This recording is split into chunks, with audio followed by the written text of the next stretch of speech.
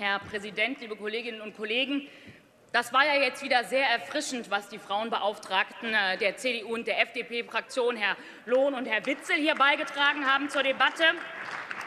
Der eine, Herr Witzel, schafft es genau gar nichts zum Thema Frauenförderung zu sagen, sondern sich fünf Minuten lang über andere Dinge auszulassen. Da wissen die Frauen in Nordrhein-Westfalen, womit sie bei Ihnen sind, nämlich keine Frauenförderung, keine Quote.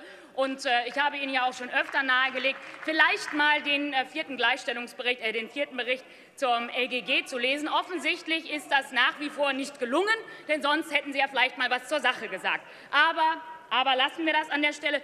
Und nicht minder entlarvend waren ja die Äußerungen gerade vom Kollegen Lohn, der dann gesagt hat, und damit wäre die Frauenförderung vom Tisch. Ja, genau, liebe Kolleginnen und Kollegen, offenkundig scheint das Kern der Debatte zu sein. CDU und FDP möchten alles dafür tun, dass die Frauenförderung in Nordrhein-Westfalen vom Tisch ist. Und das, liebe Kolleginnen und Kollegen, das werden wir Ihnen nicht durchgehen lassen. Und wir haben Ihnen das auch schon mehrfach inhaltlich begründet. Ich will es aber noch mal versuchen, wohl wissend, dass dieser Versuch vermutlich fehlgehen wird. Ich will es aber noch einmal sagen.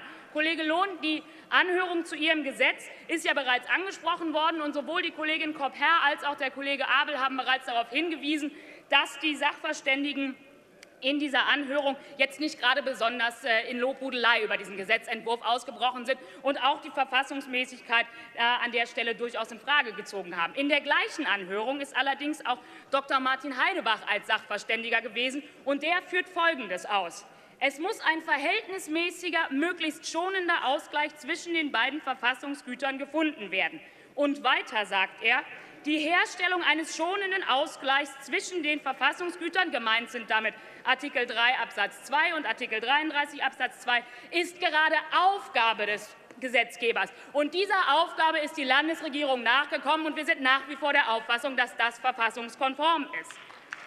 Und weiter führt er aus, die Beschränkung des Artikel 33 Absatz 2, und jetzt wird es interessant für diejenigen, die sagen, es gibt keinerlei Einschränkungen, keinerlei Schrankenwirkung für Artikel 33 Absatz 2. Er führt nämlich aus, die Beschränkungen des Artikel 33 Absatz 2 durch kollidierendes Verfassungsrecht sind nicht lediglich theoretische Ideen, sondern waren und sind Gegenstand der Gesetzgebung. Hören Sie zu, Herr Witzel.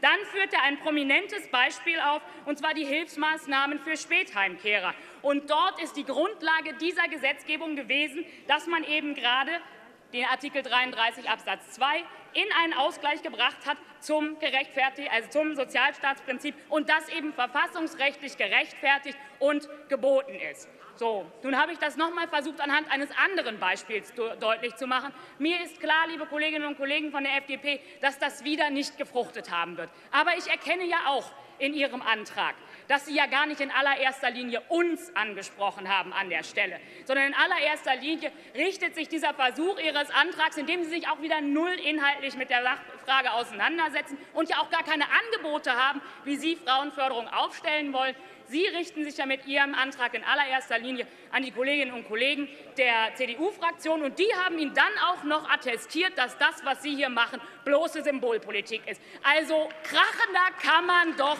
nicht scheitern. Liebe Kolleginnen und Kollegen, wir sind weiterhin der Auffassung, dass das der richtige Weg ist, denn Frauen und Männer müssen gleichberechtigte Chancen haben. Das ist verfassungsrechtlich geboten, und danach haben wir gehandelt. Und wir sind nach wie vor der Auffassung, dass das der richtige Weg ist. Bitte? In Nein, dagegen verstoßen wir nicht. Ich habe es Ihnen doch gerade, das ist doch wieder ein beredter Beleg, dass Sie nach wie vor gar nichts verstanden haben. Sie weigern sich konsequent, irgendwas von dieser Frage des schonenden Ausgleichs. Aber ich gebe es auf an dieser Stelle. Ich gebe es auf und schenke Ihnen 45 Sekunden meiner Redezeit, denn die würden auch nicht reichen, um Ihnen das zu erklären.